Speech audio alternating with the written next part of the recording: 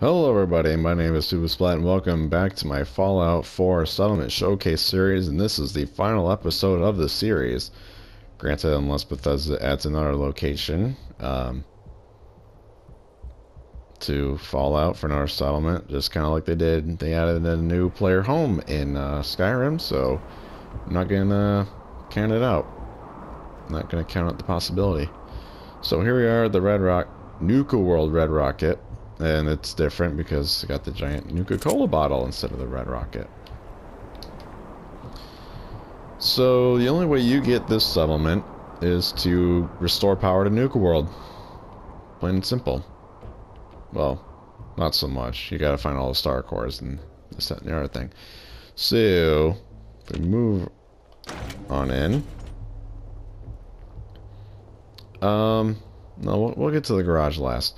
So when you walk in here, we get our, as always, we got our, um, I thought she actually closed the door. I am sadly mistaken. Um, so here we are with our, our gear loadouts.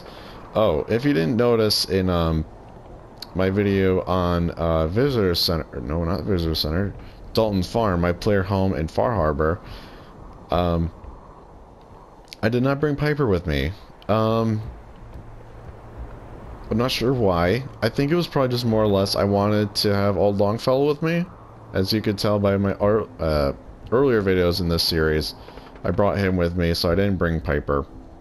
Um, since she's my wifey, but um, I brought her with me to Nuka World to liberate Nuka World to get the good ending. So we destroyed all of the raiders. So, but uh, this is my loadout. It was mostly just legendary pieces that I found um, off enemies before I even did Nuka World. So I got like assassins, operators, auto stim, left bracer, stuff like that. And I got the cappy glasses from uh, Sierra Petrovita. And then I don't know, I, just because I prefer the operators out of all the Nuka World raiders, I prefer the operators, so I just picked up some stuff and gave it to Piper, excuse me. If you couldn't tell already, um, by my Nuka-Cola Quantum Pip-Boy skin, and that we're still wearing our Nuka-Cola clothes, uh, Piper and I, so. Alright, then we'll move back here. So my weapons of choice here were the prototype Gauss rifle from the Creation Club. I did not ever use this. Um, I don't know. I never, I never bothered to get it at the Creation Club, but then I eventually did, and I figured, you know what? I'm just gonna use this, and I love the Gauss rifle. It is really powerful. I loved it.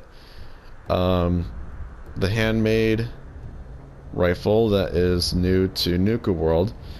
Um, this is a legendary one that causes enemies to frenzy, which I really still don't know what that technically means, but it still did a lot of damage to enemies, so um, that's all that matters to me. And finally, the violent Western revolver. It is the same thing as a 44 caliber pistol. Um, resilient. Nope. That's right. I called it Old West. Shoot, I should have looked to see what I named all my weapons in Far Harbor. Oh well. I named it Old West uh, because it does 25% more damage, plus 25 damage and limb damage, but it has more recoil. But look at that DPS, a 240. That is some powerful stuff. Yeah, what, did I even name the rest of these? I don't think I did. Nope. No, I don't think I did name the rest of these. Oh, I named it Taunt because Frenzy. Whatever. And then I got my red, red, yes, red sheets from Creation Club. Oh, you're actually sitting down, Piper. So, this TV was originally here with the settlement, so I just decided to leave it. As well as the cigarette machine and all these uh, wall paintings that are here. Um, like here, here, that sign, and this giant piece here. I left them alone. because they're naturally here, so I left them. I did add another weapon display for Oswald's sword once you complete uh, the Kitty Kingdom. And I added his hat into a little display case. So we have that just to remember Oswald. Um, I did put down a sentry kit or a model. I think I would assume that I had it from uh, or I had it left over. I don't think I found it in the park. Or maybe I did, I don't know. But I left it here. As well as the uh, Nuka-Cola lunch boxes. I left one here on the counter. Close these. Oh yeah. My magazine rack of all the issues of Scav magazine. So we'll turn so we can see them. So there's all the issues of Scav magazine. Which are, I guess they're just like Raider magazines or Raider, magazines made by the Raiders of Nuka World. Finally, here we are in the garage bay. So I took, or I tried to recreate them the best I could of like all the costumes and armor from Nuka World. So like this is Mason, leader of the pack. Um, leader of the pack. Um, the pack gang in Nuka World. Cage's armor. Uh, one of the two leaders of the operators, and majority of um, his disciples' gear. I would have gotten rid of these uh, shelves here, but then that would also get rid of the calendar, and I wanted to leave the calendar there. Uh, then we got the Nuka Girl uh, suit that you get in Oh, what? Where do you get it? You get it in the Galactic Zone, but where? Oh, Nuka Galaxy. So yeah, and then there's the oh she oh Cito's shiny slugger, which is the exclusive weapon that Cito gives you. Uh, it went to complete the quest for. Wow, what is it called? uh, Safari Adventure. Um, he gives it to you if you complete it, but I don't know, like, if you kill him, if you get it off him, too. I would assume either way you get it.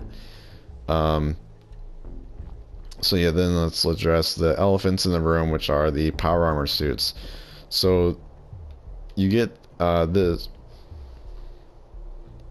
So you, you get, um, the Nuka-Cola, red, the Nuka-Cola suit from the World of Refreshment.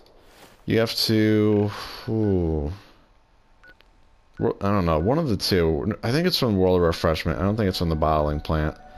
Um, there's a switch at the end of the dungeon you gotta hit, and it will like unlock security gates, and one of them has this power or this suit of power armor inside as you make your way through the dungeon. Um, it'll be on display and you can't open it, but once you hit get to the end and open it, uh, you get the power armor suit.